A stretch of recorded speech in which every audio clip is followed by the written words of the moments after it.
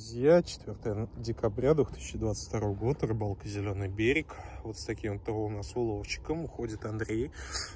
Приветствую еще раз. Приветствую, приветствую. А, ну, как ты так угадал, что 13 хвостиков взял? Вот. Я вообще ничего не угадал. Я на первом запуске, Ага. как фанера над Парижем. Два, э, ну, ну, как бы два тычка. Остальное в поля из-под льда. ага. Ну и на втором запуске чуть-чуть отличился.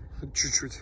А, на- на- на- Чуть-чуть на 13 хвостов или ты чуть-чуть его взял, а остальное в течение дня? Чуть-чуть. Я взял там 5 или 6. 6 взял, а остальное в течение дня. Ну, Утро у меня не задалось совсем. Просто.